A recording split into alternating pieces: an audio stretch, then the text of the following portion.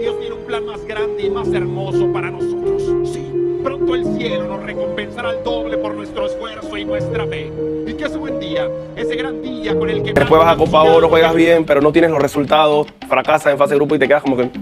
Vas al, eh, comienza el, el octagonal, que ya es la candela, juegas contra Costa Rica, le juegas bien y dices Costa Rica, pero bueno, tenían algunas bajas, a lo mejor Costa Rica no es tan fuerte. Sí. Después vas a Jamaica en Jamaica, con un equipazo que tiene Jamaica y le ganas tan fácil 3 a 0.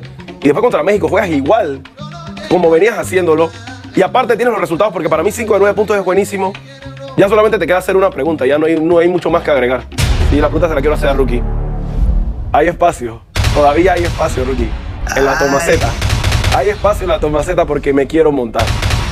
Ya tenemos juego, tenemos resultados. No, Quiero- David, no Pero- hubiese no venido hoy a pero- la candela. pero- no hubiese pero- venido. pero la Eduardo. Guerrero, yo siento que no jugó tan mal, Guerrero. El, el tema es que, oye, pero que Pero no estamos los 11 en nuestra portería. Sa- Samuel. México nos arrinconó. Por, por lógica, vez, cronológico, David. El segundo cambio después de Pero pero Pero pero es que- aguanta, si no lo ponen, ¿para qué llamaste a Guerrero? no, pero- pero- pero David, ¿Cuándo ¿qué van a jugar? importa? La opinión pública no interesa, Pero es interesa el resultado. Después de Álvaro. es Waterman.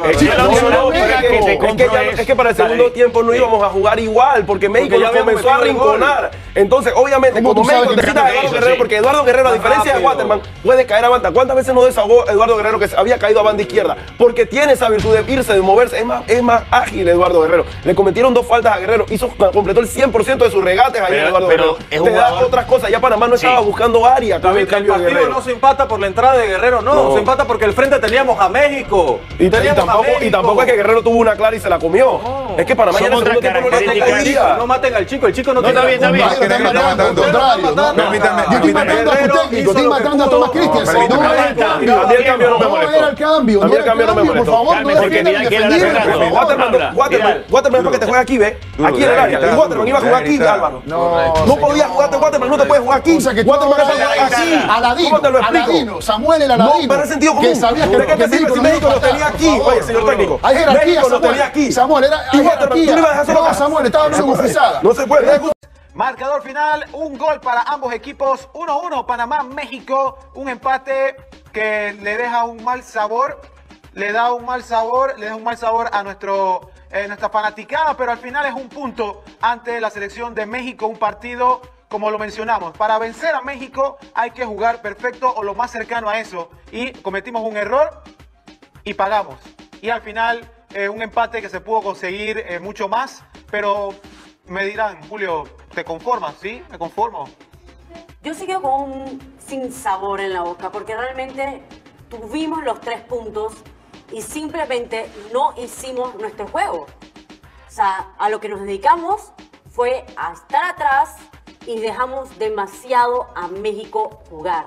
Justamente en lo que no podíamos caer, caímos y ahí cayó el gol. Seguimos- Me da un sin sabor porque lo tuvimos.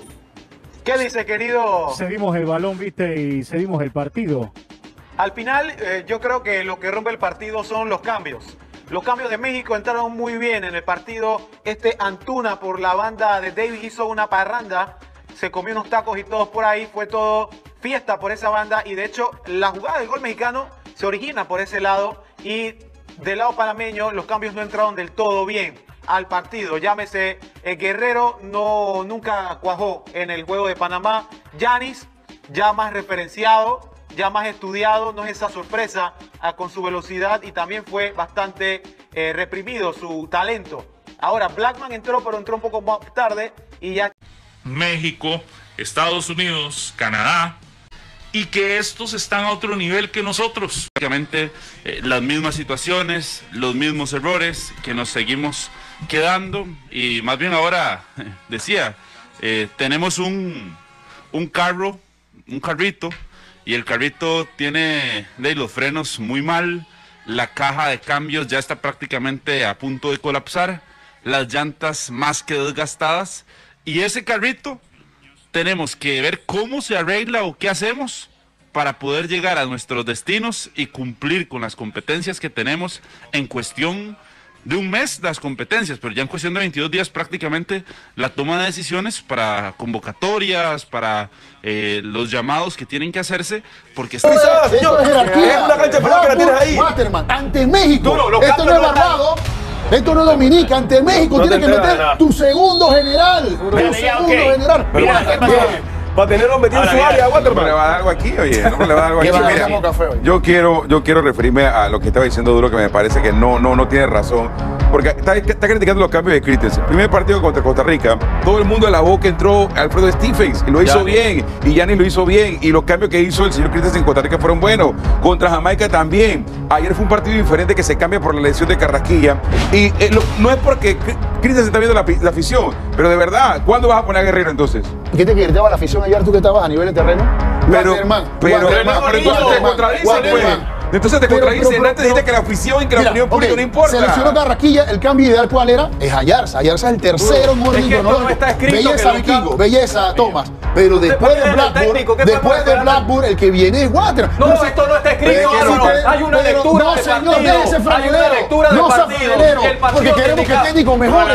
Queremos que el técnico mejore. Es que te están mintiendo. El partido te decía, Panamá necesita velocidad en el segundo tiempo, porque México se va a volcar y va a dejar espacios atrás. Por eso entra O sea, que Guerrero. tú tienes memoria corta con lo que déjame- pasó ante Jamaica. Déjame terminar, deja ser irrespetuoso, déjame terminar. ya hablaste. Irrespetuoso. Waterman iba a estar a 60 metros de la portería rival y ahí Waterman no te sirve. Waterman te sirve cuando Panamá propone un juego ofensivo a 60 metros de la portería rival. Waterman no te aporta porque es un juego, es un delantero que mete la que tiene. Guerrero sí te entiende el juego, más espacio, más campo abierto. Por eso Eso hemos firmado antes de iniciarlo.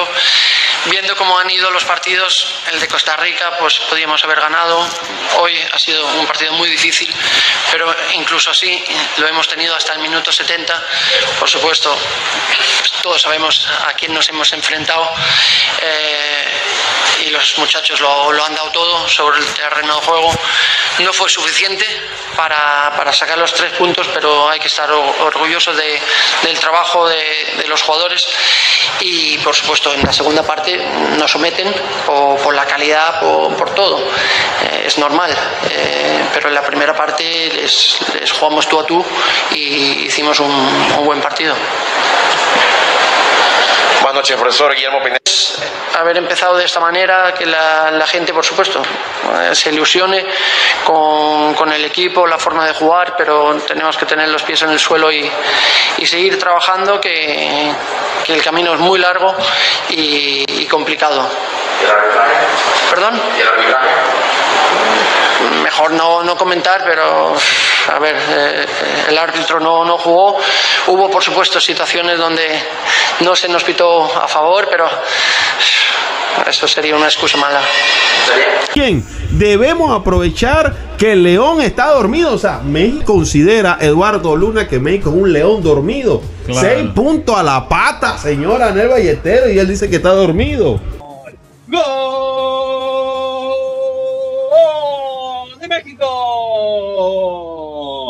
Es esta noche que yo les vengo a contar, sí señor, dónde nació este gol. Por obra y gracia del Tecate Corona lo vamos a gritar y Pizarro se va al banco. Acaba de meter el gol, México lo empata, Pizarro no entra, pero Tecatito Corona convierte. ¡Viva México, cabrones! 1-1 está el encuentro, falta de 14. Luis Romo, Luis Romo con el número 5 y ya le vamos a ver si tal vez Sergio nos apoya con eso de Guzmán, si fue que se va a presentar un cambio, pero sí vimos que le, el árbitro le hizo la señal de que debía abandonar el, el terreno de juego. ¿Qué viste ahí, Sergio? Bueno, ahí eh, esto está como enredado, ¿verdad? Porque ahí llegó el Charlie Rodríguez eh, y ahí está tumbado en la eh, en la pista En la atlética. pista.